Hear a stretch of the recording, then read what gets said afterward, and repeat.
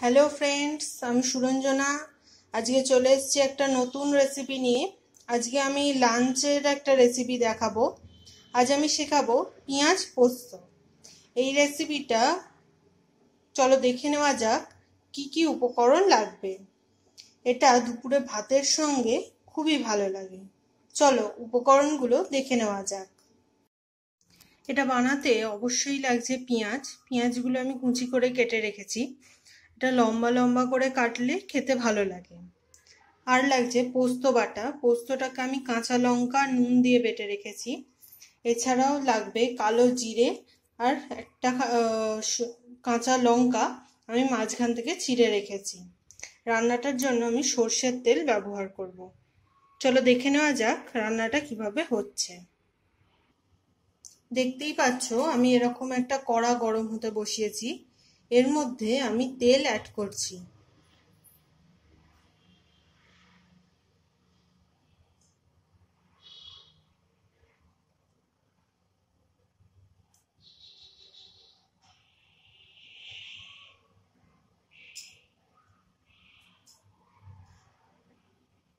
আমি এখানে বড় চামচের এক চামচ মতো তেল অ্যাড করলাম। তেলটা গরম হয়ে গেছে, এবার আমি কালো জিরে আর কাঁচা লঙ্কাটা এর মধ্যে ফোড়ন দেব।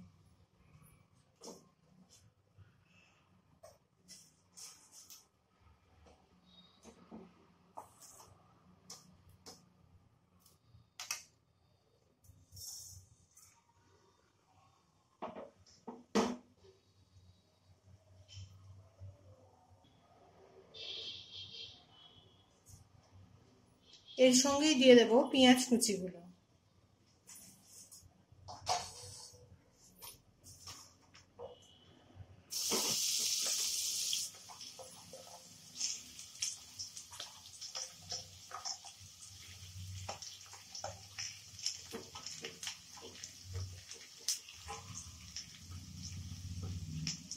একটুখানি নুন ছড়িয়ে দিচ্ছি, যাতে পেঁয়াজগুলো ভালো করে নরম হয়ে যায়।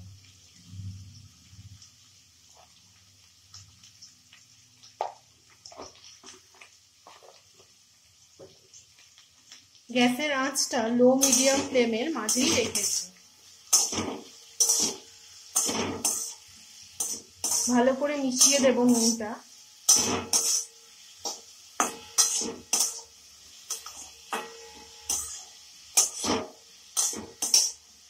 কড়াটা একটু চাপা দেবো যাতে পেঁয়াজটা ভালো করে নরম হয়ে যায়। পেঁয়াজটা আবার ভালো করে নরম করে নিয়ে ফিরে আসছি। দু মিনিট হয়ে গেছে। দেখতেই পাচ্ছ, পেঁয়াজটা আগের থেকে অনেক নরম হয়ে গেছে। এবার আমি এর মধ্যে অ্যাড করব সামান্য হলুদ গুঁড়ো।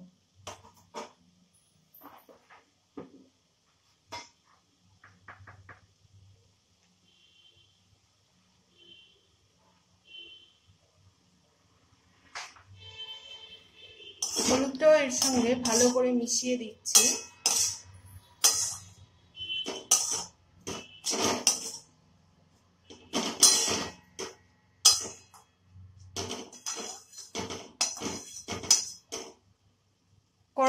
আবারও চাপা দিয়ে দেবো। দিয়ে পেঁয়াজটা ভালো করে সেদ্ধ করে নেব। দেখতেই পাচ্ছ, পেঁয়াজগুলো একদম নরম হয়ে গেছে। এবার আমি বেটে রাখা পোস্তটা এর মধ্যে অ্যাড করব। পোস্তটা আমি দুখানা কাঁচা লঙ্কা আর অল্প সামান্য নুন দিয়ে বেটে রেখেছি।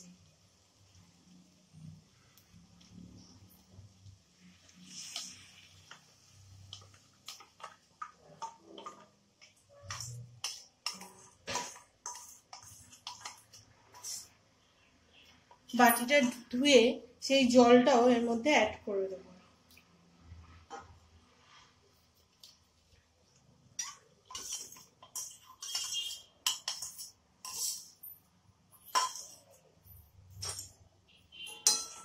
পোস্তটা ভালো করে মিশিয়ে দিচ্ছি।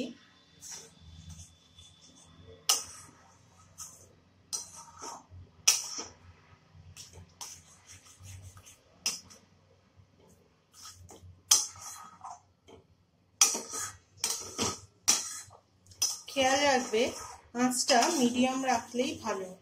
খুব বেশি জোর করার দরকার নেই।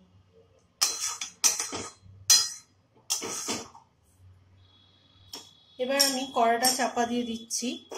দিয়ে এটা একটু ফুটতে সময় দিতে হবে। পাঁচ মিনিট হয়ে গেছে। দেখতেই পাচ্ছ, পোস্তটা প্রায় রেডি হয়ে গেছে। আমি যতটা জল দিয়েছিলাম, পুরো জলটাই এর মধ্যে মিশে ঘন হয়ে গেছে। এটাকে আর একটুখানি নেড়ে চেড়ে শুকনো শুকনো করে নামিয়ে নেব। শুকনো করে নামিয়ে নিয়ে তারপর তোমাদের দেখাচ্ছি এটা কেমন দেখতে হলো। তৈরি হয়ে গেছে পেঁয়াজ পোস্ত। এই রেসিপিটা যদি তোমাদের ভালো লাগে, তাহলে অবশ্যই আমার এই রেসিপিটাকে লাইক কমেন্ট এবং সাবস্ক্রাইব করুন।